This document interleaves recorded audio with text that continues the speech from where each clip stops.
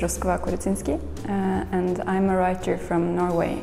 Uh, and this fall, uh, I published a short story collection called Jeg har ennå ikke sett verden, or Ich habe die Welt noch nicht gesehen.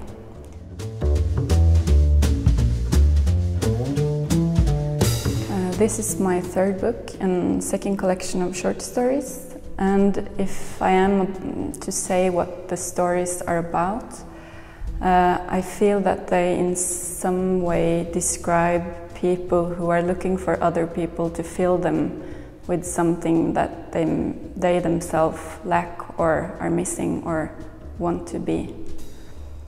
Um, that being said, I feel that the stories are about quite different people in different situations in life. Uh, and somehow they are on different spectrums of what a human life can look like.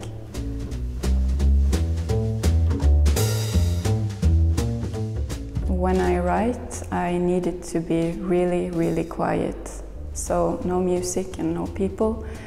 And uh, I like to have my cat uh, on my lap, uh, a white cat. Uh, and the best time for me to write is early in the morning, right after I have woken up, because then the mind feels kind of fresh and new and uncorrupted.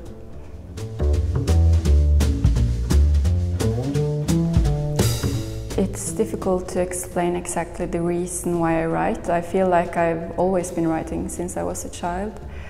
Uh, but I feel that there is a combination of inspiration from my own life and from the musicality in language and music, and also um, paintings that I see in movies that I watch that somehow touches uh, sometimes something I know, and, but most of the time something I don't know, but are intrigued to find out.